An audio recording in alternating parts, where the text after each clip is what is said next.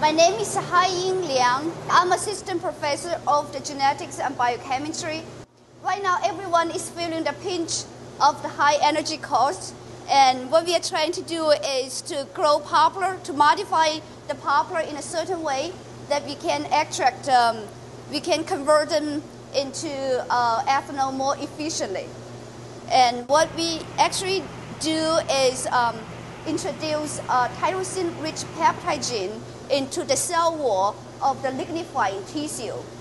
And our hypothesis behind this is that um, the phenolic group in, from the tyrosine peptide will cross-link with the lignin substrate.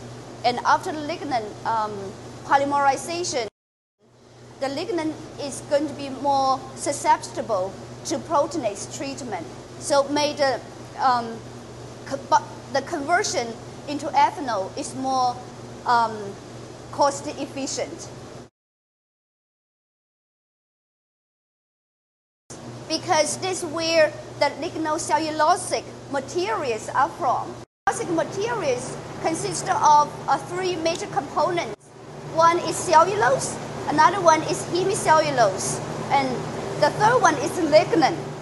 And of these three compounds, cellulose and hemicellulose are the desirable uh, components um, for, for the ethanol production because they can be converted into fermentable sugar and then we can get ethanol from that. But lignin, on the other hand, is different. Lignin, it has no nutritional value for livestock and it's very, very difficult to digest. So lignin is the undesirable compound in the cellulosic material. So we need to get rid of them. Poplar tree is a fast-growing species. It can grow in a wide range of uh, climates and soil conditions. And its genome has been um, sequenced and um, it has merged as a model system to study wood formation in woody plants.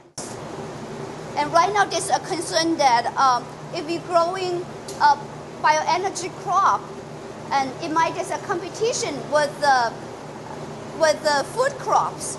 But if we grow in poplar, we can grow them in, in the less um, fertile land. Right now I grow these plants in a greenhouse and then when we grow about two, two meters high, I will harvest the, the stems and then I will grind the stems up into fine powder and then I will check um, if I can extract more sugar from my transgenic stems.